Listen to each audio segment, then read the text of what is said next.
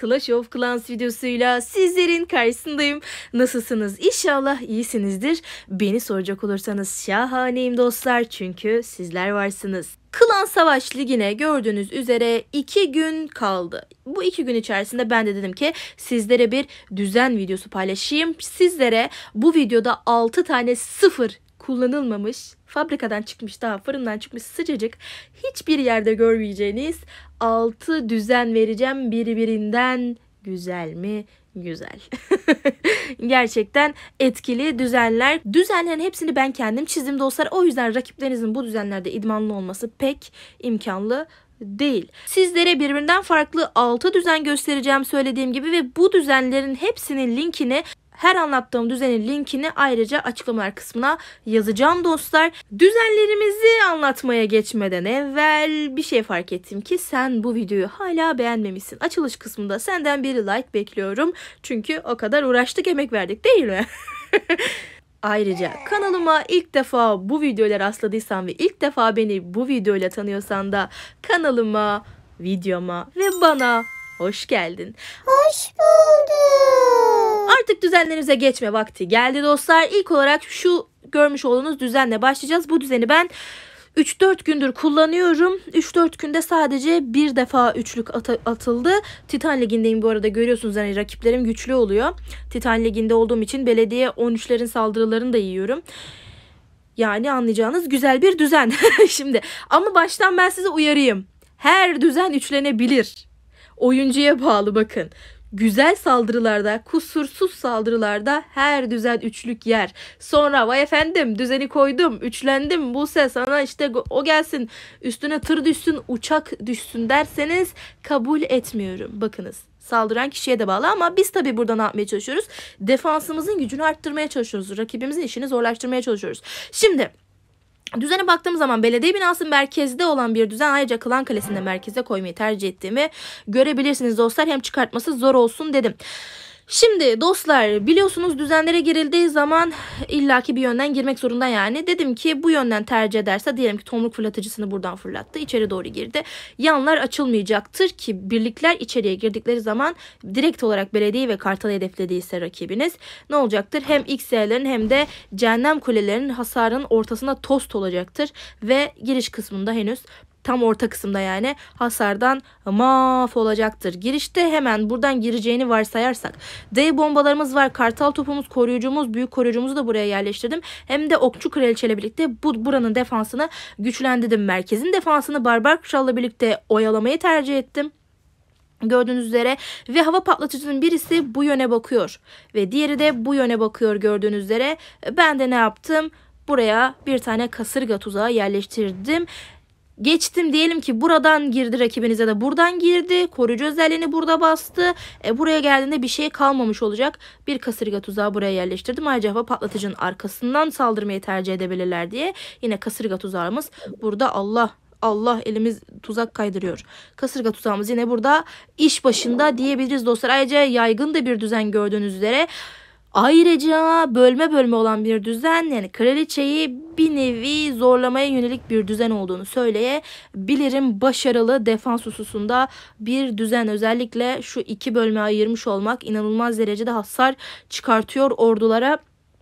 Ayrıca cehennem kulelerinin etrafında depolarla güçlendirerek rakip karakterleri ve birlikleri oyalamayı tercih ettim. İki tane tekli cehennemin ızgarasının arasında bir de bir de bir de şurada çoklu cehennemimizin hasarını yiyerek tam böyle kıvamında pişmiş bir et olacaklar. Ayrıca alev atıcılı saldırılara karşı da köşelere bakın şurada bir, iki, 3 köşelere Tesla bırakmayı tercih ettim. Dostlar ne olur ne olmaz rakip oyalansın ayrıca bu köşeyi de gördüğünüz üzere buradaki binalarla koruduğumuzu söyleyebilirim. Alev atıcıya karşı da önlemimizi aldık. Başka saldırılar yapsınlar fark etmez.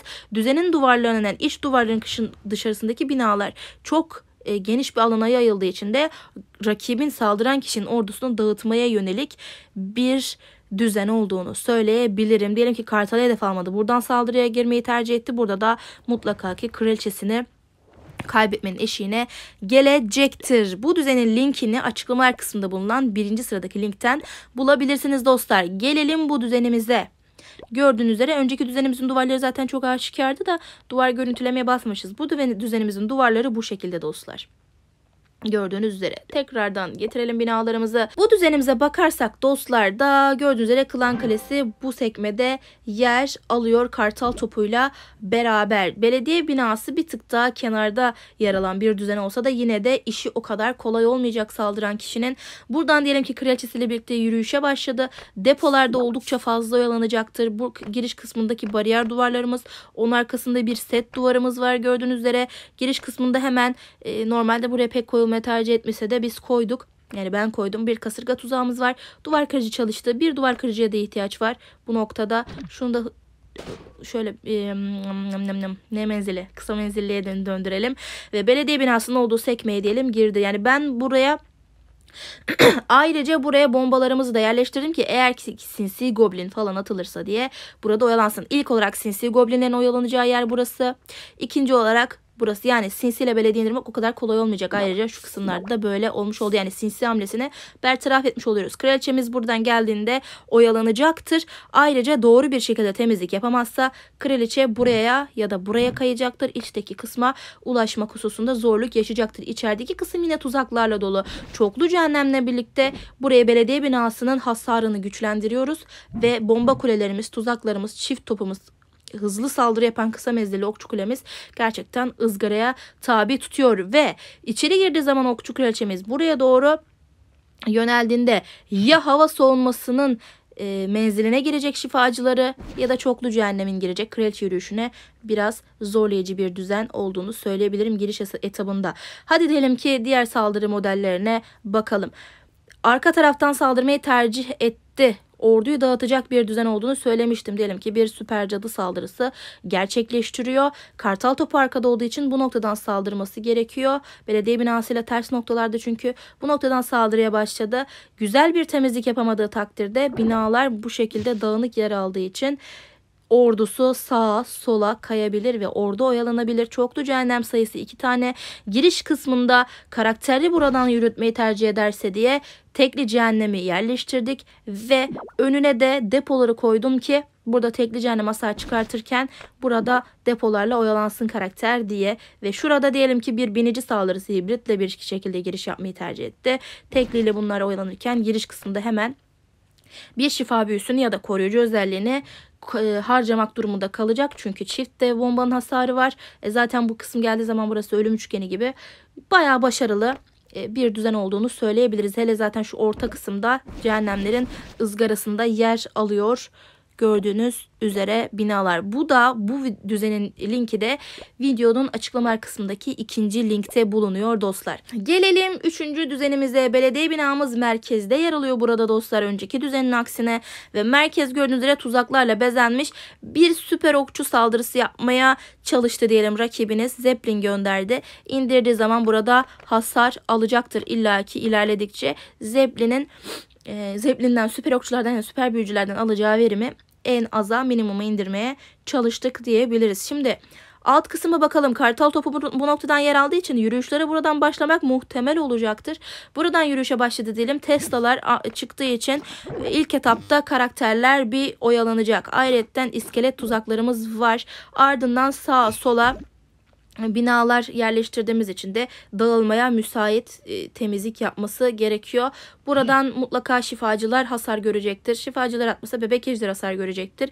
Yani temizlik illaki yarım kalacaktır. Orduyu dağıtmaya yönelik olduğunu söyleyebilirim dostlar. Şimdi kartal topunun olduğu yerde çok fazla bina yer almadığı için kraliçe, kraliçe yalnız kraliçe buradan içeri girmeyi tercih etmek yerine ya bu tarafa ya bu tarafa yönlenmeyi tercih edebilir dostlar. Ayrıyetten şuradaki ben cehennem kulesini tekliğe almayı e, düşünüyordum ama çoklu da kullandım. Ama sizler isterseniz teklide de kullanabilirseniz iki türlü de iş yapacaktır bu noktada. Haberiniz olsun. Şunun menzilinde azaltalım. Bu şekilde Giriş kısmında diyelim ki ejder attı ve ya da balon attı. Buraya direkt olarak indirmek istedi. İlk etapta balonları temizleyecek olan e, balonlar için çıkacak olan hava bombalarımız ama ardından güdümlerimiz çıkıyor ki ejderleri hedef alabilecek de birliklerimiz olsun. Süper okçu saldırısına karşılık yine buradan bırakılan bir zeplin olduğunu varsayarsak da burada bir kasırga tuzağımız var dostlar. Arka tarafta koruyucumuz, bomba kulelerimiz ve çift top la güçlendirilmiş olduğunu görüyorsunuz savunmaların. Sağ ve sol kenarlarda set duvarlarımız var cehennem kulelerine ve içerideki merkez üstünü korumaya yönelik olduğunu görüyorsunuz. Ve sol kanatta da yine bariyer duvarlar var depolarla. Oradaki hava soğumasının önündeki binalarla hava soğumasını korumaya çalıştık ve şu kısımlarda da X yaylarımız iş başında gayet başarılı, verimli bir düzen olduğunu söyleyebilirim dostlar. Şöyle hemen kaydet ve çık diyelim. Düzenlerin olduğu açıklamalar kısmında da üçüncü kısımda bulabilirsiniz. Tasarımı düzenle dedim sıradaki düzenimize geçelim. Biraz hızlı mı anlatıyorum yavaşlayayım mı? Bu arada ben video çekiyorum saat şu an sabah 7 mi 8 mi ne yani o sabahın köründe kalktım.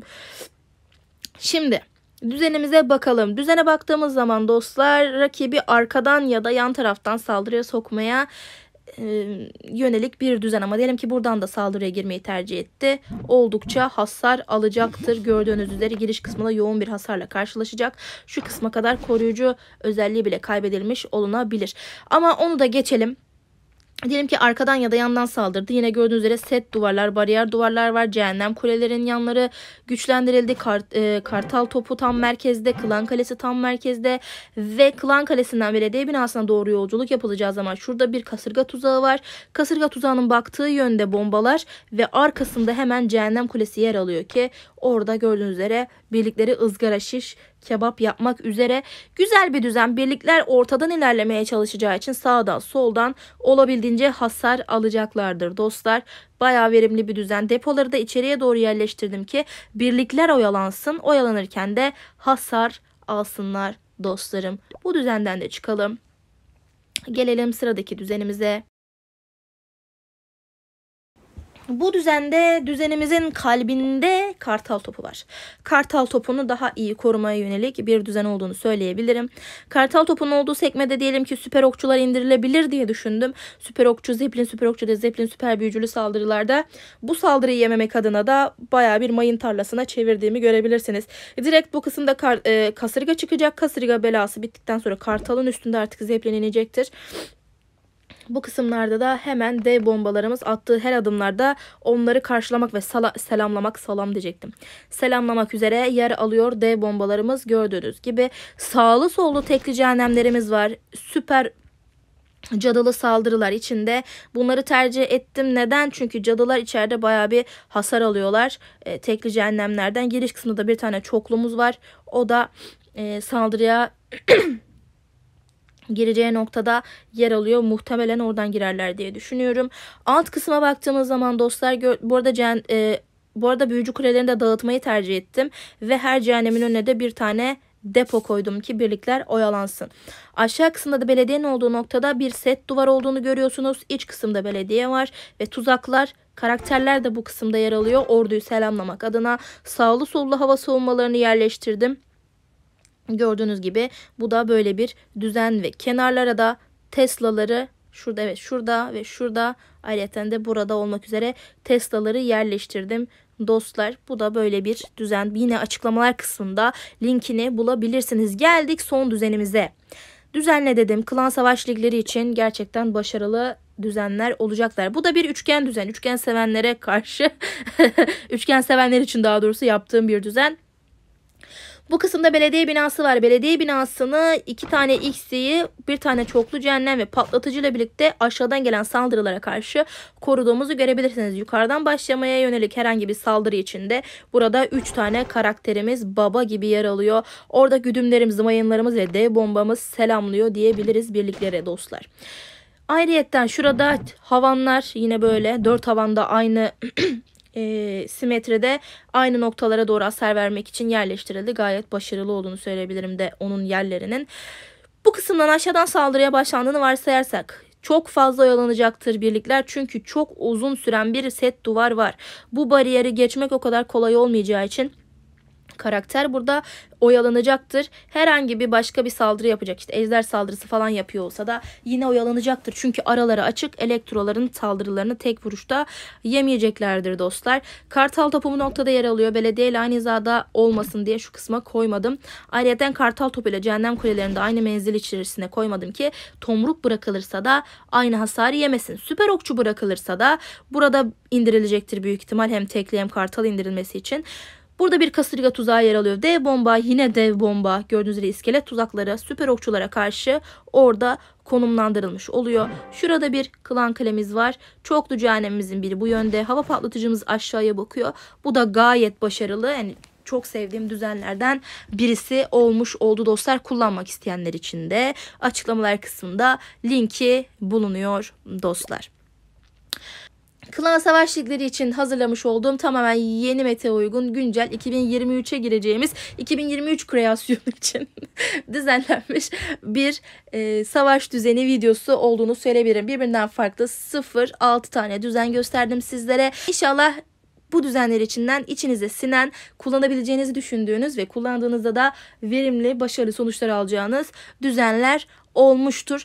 Daha fazla düzen videosu istiyorsanız da bu videoya like bırakmayı unutmayın ve önceki düzen videolarımı izlemek istiyorsanız da dostlar hemen sağ üst kenarda çıkan kısımdan videoya tıklayarak diğer düzen videolarıma ulaşabilirsiniz dostlarım. Artık veda etme vakti. Eğer videoyu beğendiyseniz like atmayı, yorumlarda bol bol yorum bırakarak bana destek olmayı ve kanala hala abone değilseniz abone olmayı unutmayın dostlarım. Ben video attığımda pusuda beklemiş gibi zınk diye gelip videoları izlemeye başlamak istiyorsanız kanal bildirimlerini açmayı ihmal etmeyin. Ben Busev. Sıradaki videolarda görüşene dek kendinize çok iyi bakın dostlarım. Hoşçakalın.